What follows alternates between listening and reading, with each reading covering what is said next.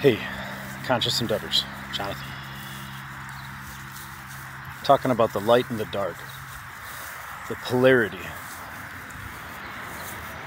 Jesus is the white side of the yin yang.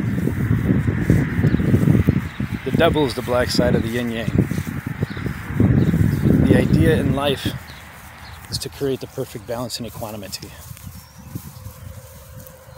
For a long time, we want to fight the bad side bad side wants to fight the good side and vice versa.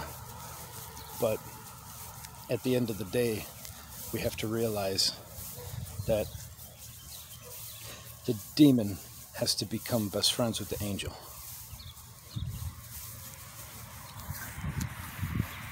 When you experience your duality, when you experience the light and the dark, both sides, you see where the gauge is and how far you should go. And you can choose for yourself which side you want to be on, or if you want to be equanimous and balanced. The key is to reach peace. That's a perfect equanimity and balance. Peace. If you have any emotion or frequency that's running through you that is anything but love or high vibration, then you have to learn how to switch your energy immediately so you can neutralize the negative frequencies.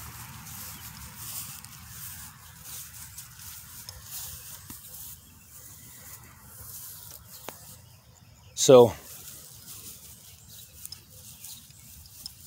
it's good to know how to neutralize the negative frequencies so you could bring yourself back to a neutral position and point. So you don't have to swarm and spiral in that depression. Put on a beautiful piece of music. Pick up an instrument and play. Hang out with a best friend or a family member. Do something that you love to switch the energy from negative to positive instantaneously within seconds. Everything is thought. So try to control the thought. Try to neutralize the negative thought. Try to maximize the positive thought. If you're in fear frequency, you can never be abundant and you escalate your liver enzymes so you're more susceptible to illness and disease. So if you're in a fear frequency, you're not going to be successful. Why do you think they put 90% of the media? Uh, why do you think all of it's fear based? It's for control reason, so people can be complacent sheep. When you're in a fear frequency, you shrink your electromagnetic field around you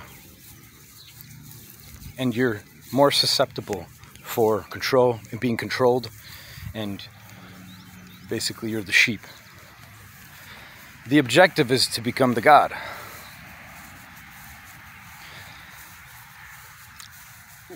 We are all god. You are god i am god. Everything is god. You created all of this It's a co collaboration of collective consciousness, is what this is. It's a collective dream. Roll, roll, roll your boat gently down the stream. Merrily, merrily, merrily, merrily, life is but a dream. I heard that song and it makes a lot of sense.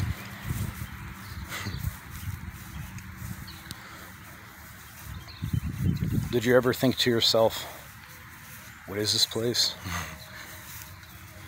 Did you ever think to yourself, why is this place so hard? Did you ever think to yourself, why is this realm seem impossible at times? Well, if you knew all the answers to the test, would you learn anything? If somebody gave you the answers to the test, would you learn anything? Ask yourself that question. It's a game.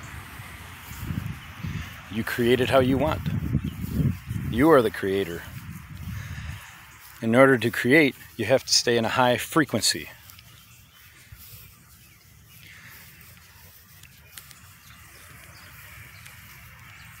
That's optimal for production and for creation from my experience. Although there were times that I was in a lower frequency and I was very abundant and I was very inspired and I was able to create. So you have to find that balance and what's best for you, what works for you. But if you're put in a fear frequency, you shrink your electromagnetic field. If you're in a love frequency, you expand your electromagnetic field three to five meters. So I'm told. So I hear. When you expand your electromagnetic field, you're more powerful. And that's when you attract. And that's when you create at your finest. So, it took me 38 years to realize these simple things. Why is it that they don't teach us this in school? Huh? Why is it that they don't teach you these things in college? Ask yourself that question. Why don't they teach us very valuable things in school that we need to learn that are conducive to life? Remember, in order to get out of your negative frequency, try to do something you love. Change your mind off of that. Everything is thought. Everything is thought. Life is mental. Everything that's inside of you, you start to see in your external reality. Everything that's outside of you is also inside of you. As above, so below. So remember, if you want to change your energy from negative to positive, do something you love, change your thought. Don't spiral downward. Don't keep drinking that alcohol. Don't keep doing the drugs if you're feeling like crap. Change your thought immediately.